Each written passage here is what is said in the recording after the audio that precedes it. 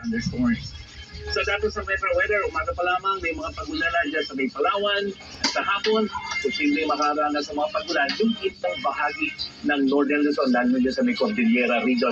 Pero mga kakatamtamang ulan lang yan. Sa Metro Manila, mababa ang tsansa ng ulan maghapon. Makikita nyo, walang kulay sa alimang bahagi ng Metro Manila. Asahan din ang maulang panahon dyan sa may Western at Central Visayas pero mga hanggang katamtamang ulan lang yan, mga kapuso. Ha?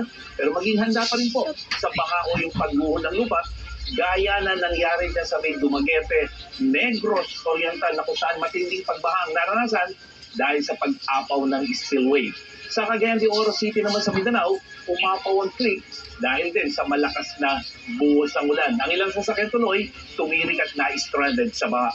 Posibleng magpatuloy ang maulang panahon sa Mindanao bukas, lalong-lalo na pagdating sa hapon na kung mga kapuso, maraming lugar ang makakaranas sa maulan at may mga malalakas pa rin thunderstorm. Delikado pa rin pumalawat sa mga baybayin ng Batanes at Babuyan Group of Islands, kasama na ang baybayin ng Ilocos Norte. Samantalang mga kapuso, may meteor shower po ngayong gabi. Yan ang Leonids Meteor Shower. Ayon sa pag-asa, magsisimula ito bandang 11.47 ngayong gabi hanggang 5.58 po yan ng umaga bukas bago sumikat ang araw. Medyo maulap po mamaya sa Mindanao at may maropa, pero sa ilang lugar sa bansa, gaya dito sa Metro Manila, eh, pwede niyong abangan dahil hanggang 10 bulalako kada oras ang pwede niyong makita. Yan ang latest mula sa GMA Weather. Ako po si Nathaniel Cruz, magplano para sigurado. Serbisyong totoo ng GMA News.